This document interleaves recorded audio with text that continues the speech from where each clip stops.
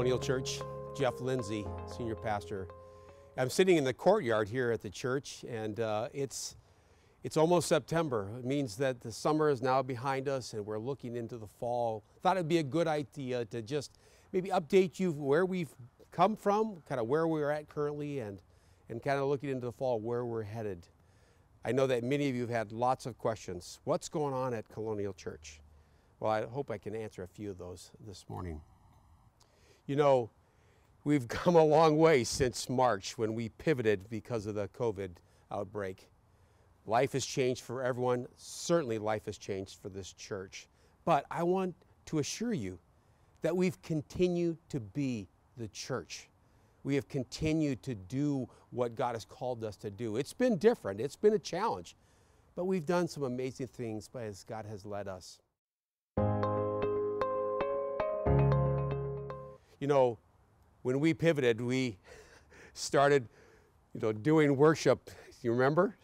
We started doing it on Facebook and we started doing it on YouTube, and it was from my house and from uh, it was echoing. And then we hired a production staff, and the services got so much better. And the product that we're offering you every Sunday morning, we really hope has drawn you in and encouraged you to celebrate God in your midst and to look to God.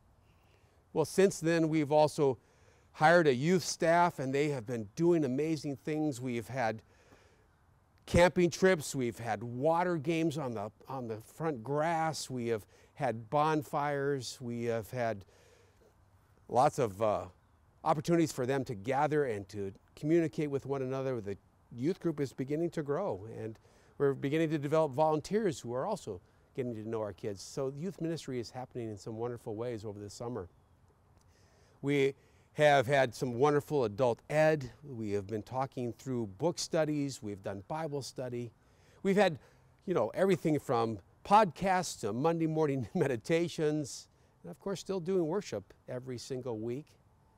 We've begun to deeply involve ourselves back into missions, and over these past few months, we've had food drives, and we, we've had school supply drives, and we've gone into the community and invited them to be a part of it as well we have been actively involved in being the church with each other, with the community around us, and even the greater Twin Cities. It's been exciting to see how we can still be the church even in these COVID times.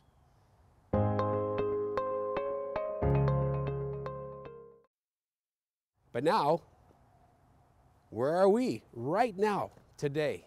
You know, we are still having uh, drive-in movies. We're still having uh, music events in the parking lot. We're still trying to use the outside of our church uh, for a variety of events, just so people can come and remember their church, remember each other, and to think about how God has continued to use us.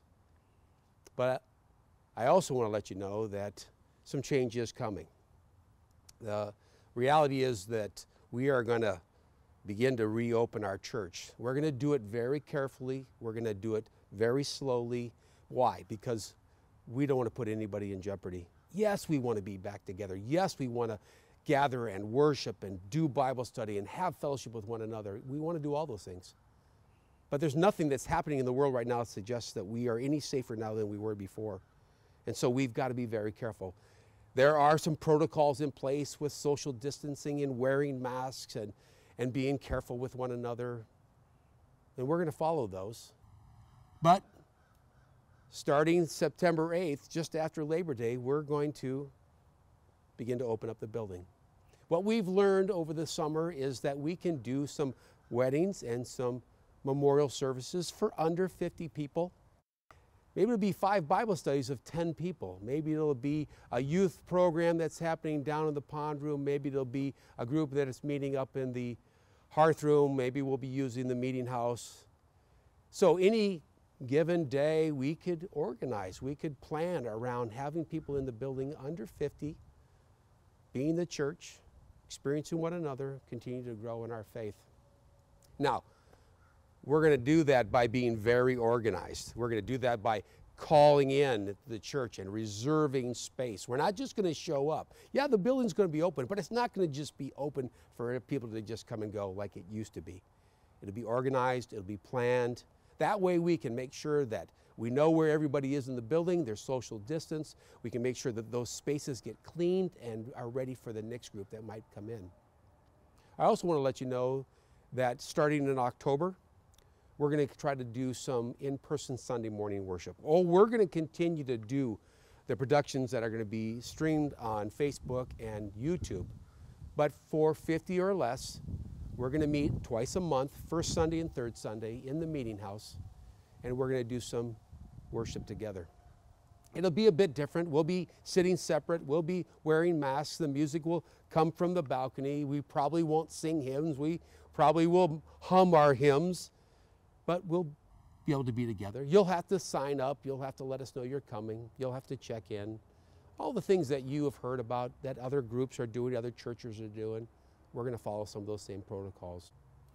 I also want to let you know that as we think about opening the church, that we have developed what we call a brain trust. It's a group of about a dozen people from Colonial Church that have expertise from medicine to risk management to some lawyers, people that can give us a perspective who know Colonial Church, but also know what's happening in the world and also have some expertise around informing us of what's the best ideas leading towards the changes that we are focusing on going forward.